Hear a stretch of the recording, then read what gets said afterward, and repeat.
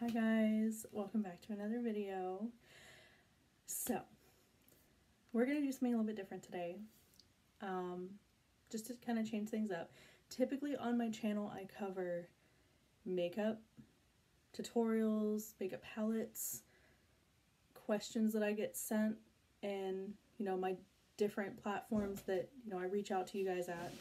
And I wanted to go ahead and do something for my pixie girls out there. So, I've had a pixie for it's been two years now. And before that, like I would go through spurts where like I would have a pixie and I'd grow it out, and then I'd cut it off again, and then I'd grow it out. So through that time, I've had a really hard time finding styling videos for pixies, like that take you through different ways to style your hair when you have a pixie cut because when you don't have a lot of hair to work with, there's not a lot of different things that you can do. So that's what I wanted to talk about today. So I have some products set up. I have my mini straightener plugged in. I got this years and years and years ago. My aunt and uncle got it for me for my birthday and I held on to it and honestly, it's amazing. Like it is like the size of a travel size straightener. I know Drybar makes one, Eva NYC makes one. Like they they are out there. Bedhead makes one, I think. Um, this one, I don't know what brand. It's, I can't even say it. Ionica? Ionica? Not really sure which one, but I've had this for years and years and years. And I have been using it so much since I got a pixie cut two years ago.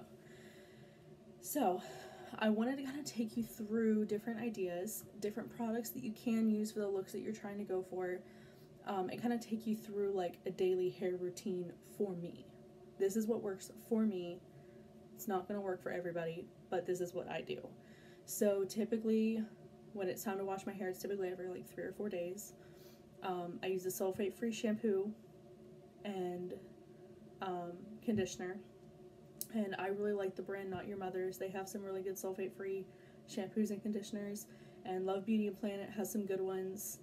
Um, you can pretty much guarantee that if you get a color safe shampoo and conditioner, it's it's going to be free of sulfates and parabens and it's basically it doesn't have as much alcohol in it so it doesn't dry your hair out as much. It's more conditioning for your hair. It leaves your hair with more moisture. It helps your color last longer so you won't have to you won't have to go get toners as frequently. You now like if you're trying to cover up grays it's not going to help that i'm sorry. It's not going to keep the grays from coming in but it is going to help with the longevity of how long your hair dye lasts as far as like fade out and all of that stuff. So i wash my hair with the sulfate free shampoo and conditioner and then when i get out of the shower i typically let it air dry just because i don't see a reason to cause more damage than I'm already doing in dyeing it and straightening it. I just don't. But when I get out of the shower and I towel dry it, I use one of two products. I use a leave-in conditioning treatment. So this one I got at Sally's. It's called Daily Dose. It smells kind of funny, but it works really, really well. There was also one by Eva NYC that was a leave-in 10 in 1 treatment and I loved that. It worked really, really well, and it was like four bucks. It was worth it. This one I think I got for like three bucks, and I've been pleased with it, other than the smell, which the smell goes away. And then I also, for a little while, I was using this one. I also got this one at Sally's. Um, I've had it for years. I don't even know how old it is, honestly. I should probably look and see if it's expired and needs thrown away. Um, but this full big bottle back then costs $8. I don't know what it would cost today, but pretty much any leave-in conditioning treatment will do well. I like I said, I really like the Eva NYC one. It worked amazing and it smelled so good. So good. Um, but I know like Not Your Mother's has one, Matrix has one, Drybar has one, like pretty much every company has one. So I would highly recommend investing in it, even if you have long hair. Invest in it, it's worth it. So after that, what I will do is I will let it air dry. That typically doesn't take too long because my hair is super short. If you want to blow dry it, what you're want to do with a pixie cut, you want to blow dry your hair the direction that you want it to go. So if you like wearing your pixie more feathered back, you're want to blow dry it away from your face and feathered back. If you like, like me, wearing your pixie where it's all kind of coming forward and it looks really cruddy right now because I haven't styled it because I knew I was doing this video. Um, what if you want the top to come forward, the sides to sit down, you're to blow dry the sides down on each side, same with the back. And then from like the back where you, almost where your head starts to curve, you're going to slick the hair forward and blow dry it all forward. It's going to give you more volume. It's going to change up your look a little bit if that's not what you're used to doing. It'll give you a little bit of something to change it up with. It'll look a little bit edgier, um, a little bit more modern, if that makes sense. Um, and typically I have it, it just naturally kind of parts. You can't really see it on this side, but it typically parts here. And this whole top section is like what I typically forward. like to do is I, I already have my straightener plugged in. It's good to go. It's heated up. What I like to do is I like to work on my sides and back first and then go to the top last. So typically what I'll do is I'll bring all of my hair on the top forward or I'll pin it back and I have no shortage of clips because I'm a cosmetologist. It's like currency. So I pin this so that it's out of the way and I have access to my sides. And then I take my straightener and I like to keep my sides sleek. So I like to basically kind of curl them under a little bit just so that they're not sticking up all over the place. But you can, if your sides are a little bit longer and you want to curl them a little bit, you can curl them a little bit. Like, it'll work. When my sides were longer, that's what I would do. But I typically just go around the top half of my head and curl everything under. Just that I know that there's no little guys sticking up in the back. They're all kind of laying down.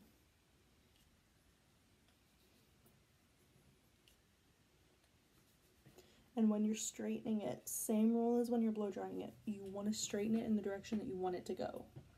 So like, I want these pieces to lay down, so I'm straightening them down. If I wanted them to be, you know, going back away from my face, I'm going to curl away from my face. So I pretty much just go around the longer pieces that are sitting on like the top part of my crown and I curl them under. And then if you ever have pieces that aren't listening like this one, just take your hand and kind of rough it a little bit.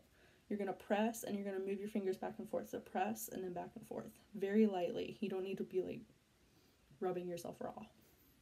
But that's what I do with the sides and the back. And I kind of form it around my ears and get it to lay the way that I'm liking it to lay. So when it comes to the top, I saw Whippy Cake do this years ago before I even had a pixie. And she basically taught me how to style my pixie. Um, she helped a lot, but she is not putting any videos out because she had some health issues and actually ended up passing from the health issues. So we don't have her to grace us with those awesome tutorials anymore. But what I like to do is I'll start working at the back and I like to pull it forward and curl it. So I'll show you on the side here what I'm doing. I'm grabbing the base and I'm curling it in in towards the middle of my head, if that makes sense. The perimeter here, we're going to pull in. So same on this side. We're going to pull it in. Pull it in. Pull it in.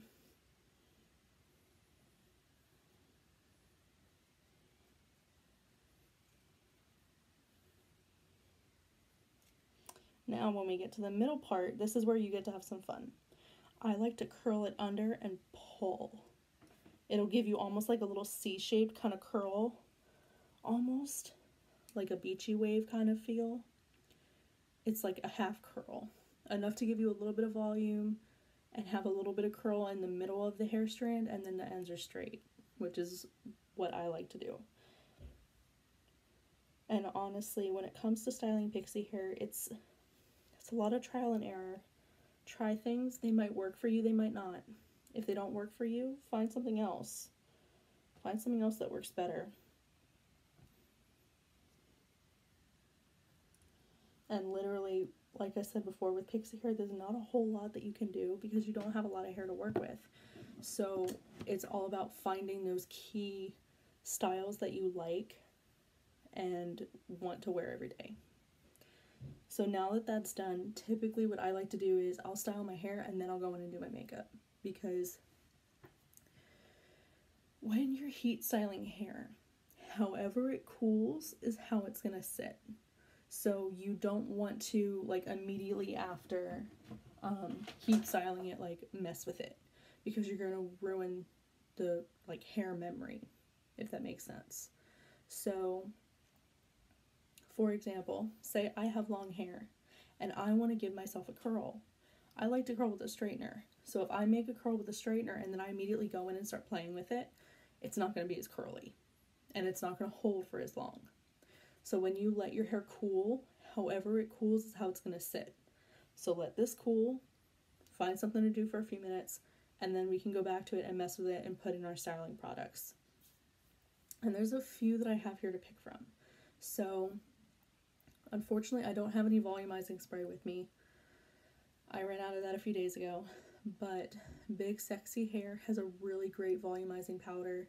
It's like it sounds odd to explain it, but it's it's just a little tube and it takes it does not take a lot. It looks almost like baby powder when you like dab it out, but when you start to rustle it, it feels wet and kind of grainy. And then it dries. Like it's wet and dry at the same time if that makes sense. And it basically gives your hair what I call grit or hold, and it basically like helps hold your hair in place and give you volume. So unfortunately, I don't have any of that on me, but what I do have is typically I'll start out with one of three products.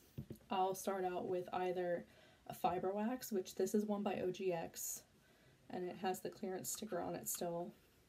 I got this while I was working for Ulta on clearance, and I love it. It's amazing.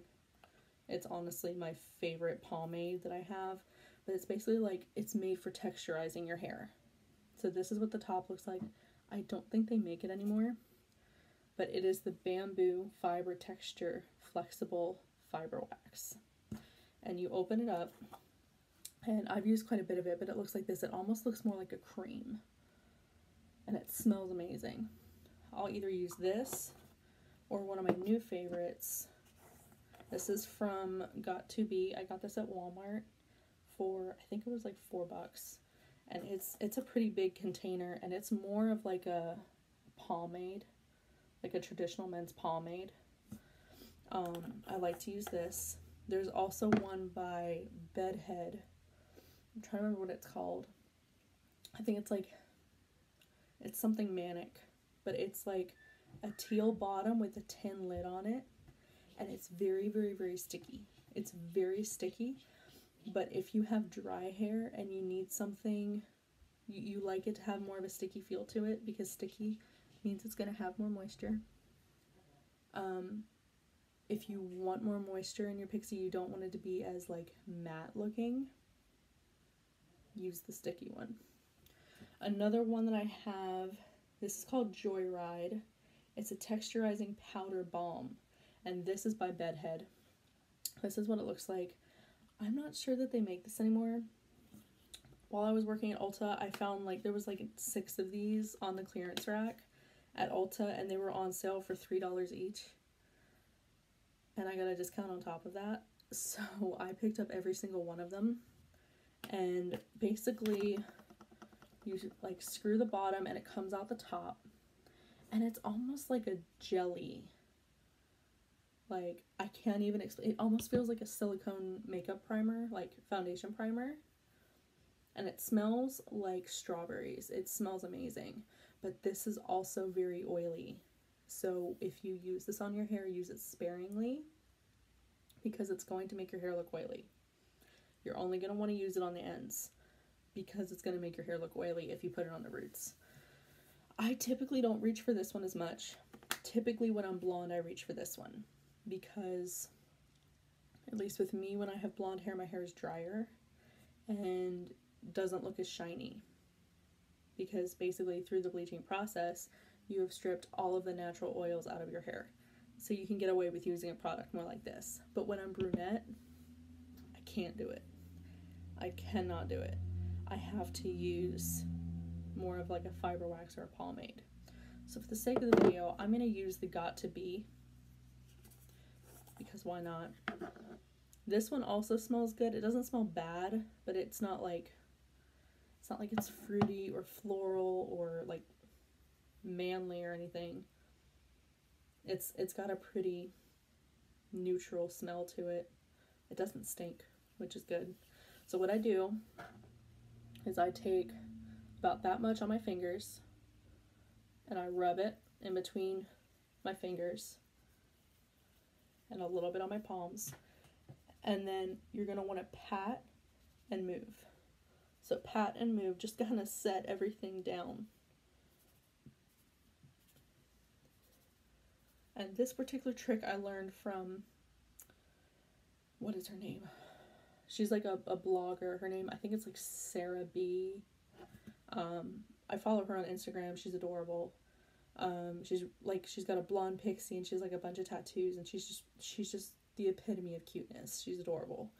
But I actually learned this trick from her. So when you're working on the top, you need to rough everything up in order to manipulate it to where you want it to be. So you want to disperse your product and it's going to make it look messy. Messy is okay, we can fix it.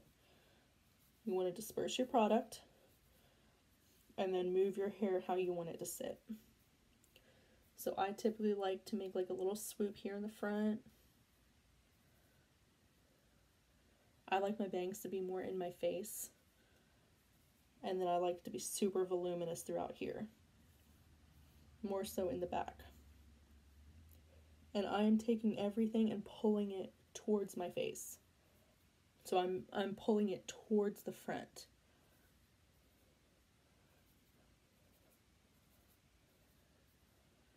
And honestly, with a pixie, it's all about manipulation. It's all about how you want the hair to look and how you want it to sit, and then basically moving it, manipulating it to get it to sit that way. And this is pretty much how I do my hair every time I wash it. It's once I straighten it and do the curls, I very rarely have to ever touch it up. Now, I will have to like reapply product, you know, every day or two just to kind of give me the hold that I'm wanting. But typically, it's not that difficult. Like, my hair typically pretty much remembers how I've styled it and doesn't really move. The only part that I ever really have an issue with is right back here and on the sides because when I go to sleep, I guess I'm a rough sleeper because when I go to sleep, when I wake up in the morning, everything is just on the side sticking up. It's hilarious. It's comical but I like to make sure that the back is smoothed down and not sticking up. And that's pretty much what I do. Now, there are some occasions that I want a little bit more texture on the ends of my hair, and I like to use a sea salt spray for that. So I have two here. This one is from KYN. I don't know if I'm saying that right, but I got this at Ulta. It is a texture spray, and it almost it's almost like a sea salt spray, but it's not as gritty. It's really, really nice. It's not super heavy. Like, you can't feel it on your hair, if that makes any sense. And then I also have this one, which is from Not Your Mother's. And I like this one a lot. Like, a lot, a lot. It works really, really well. It is basically like a sea salt, it's sea salt spray. Um, but it's not like I said, it's not super gritty. It's more, you can feel this more on your hair than you can feel this. Um, but I will just basically spray it on the part that I'm wanting texture. But that's pretty much what I do. Now, if you are looking for a hack for not getting volumizing spray, this has worked for me and it's worked for a few of my other friends that have shorter hair you can get a dry shampoo and use a dry shampoo. This one is not your mother's. I love this company if you can't tell because I have mentioned them a lot in this video and I have several of their products and they're really really good.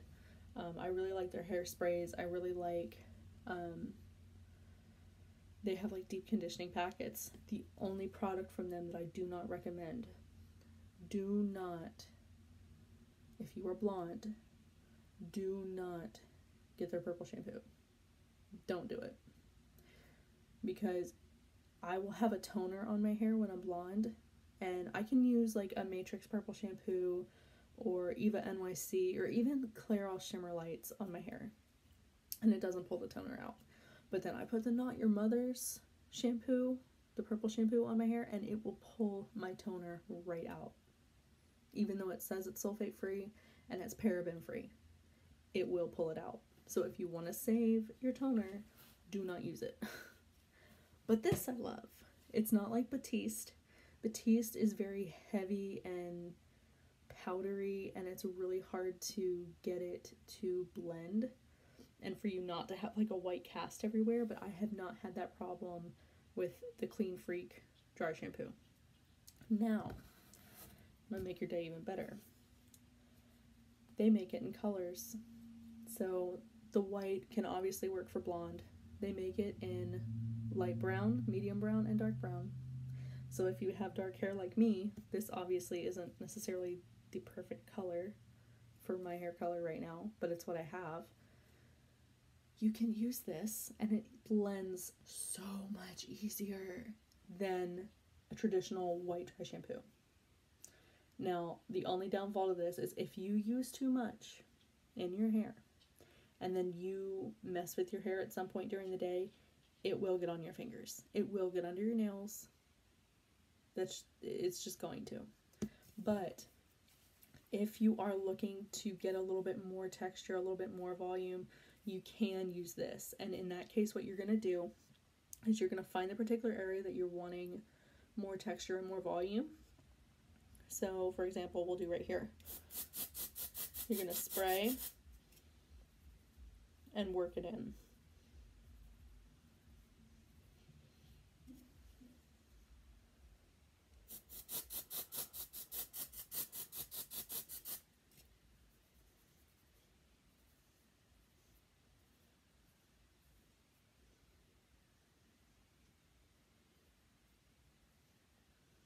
and I don't know. I can see it in my mirror, but I don't know that you guys can tell a big difference in the camera. But it honestly, and even like feeling it, I feel like this has more structure and a little bit more hold than it had before. It's not as like flimsy and soft as it was before. It has a little bit more grit and hold to it. It's amazing. I love it. I hope that this video was helpful. I know I mean, even the other week, I was looking for ideas for different ways to style a pixie or how to style a pixie just for the heck of looking and seeing what was out there. So I hope that this helps somebody. I hope. If you have any tips or tricks or questions, please message me, comment, reach out to me in some way. Um, I'm gonna, as always, I'm gonna link my Instagram and my Facebook down below in the description box. If you did enjoy this video, please like and subscribe. Please. Um, I try to upload once every week or two. Um, life has been crazy recently, so it's not been that frequent. But like and subscribe, and then I think there's a notification bell that you can get notified when I do upload. Um, and basically it'll pop up in your lock screen hey Kait does hair uploaded a video do it that way you never have to worry about hmm, wonder if she put up a video. It'll let you know when i put up a video. You'll be in the know. You will know what's going on. So i will see you guys next time. Hopefully it won't be long but i will catch up with you guys later. Stay safe